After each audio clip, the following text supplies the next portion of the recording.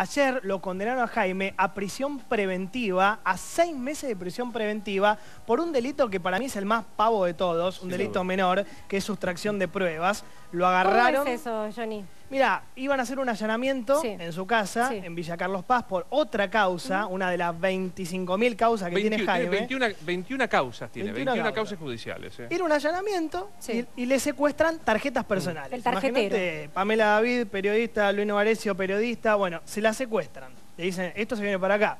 ¿Qué hace Jaime? Se esconde la gran mayoría acá, en el bolsillo.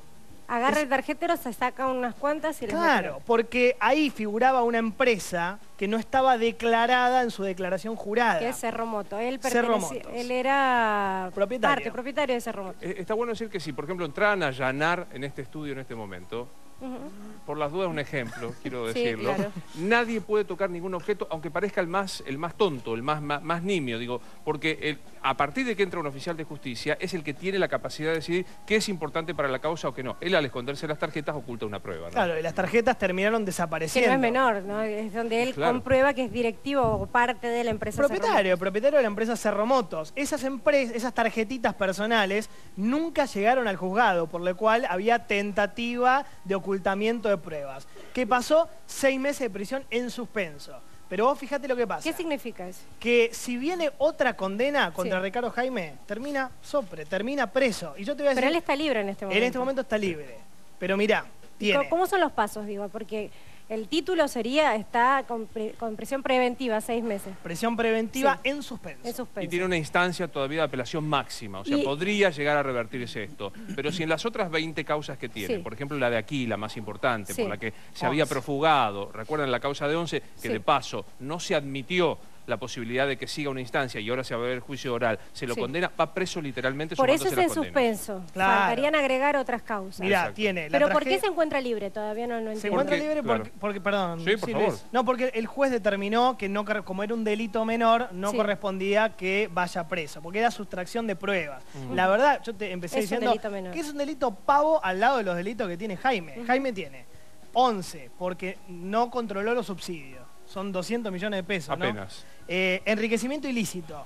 No pudo demostrar 12 millones de pesos, Jaime. 12 millones de pesos de su patrimonio.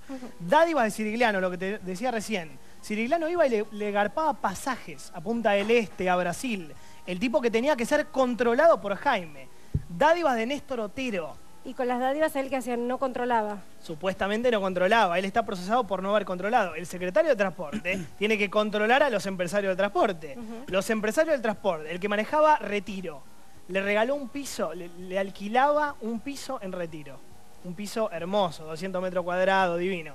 Si a vos te regalan o te alquilan un piso, ¿lo vas a controlar con más o con menos fuerza ese empresario?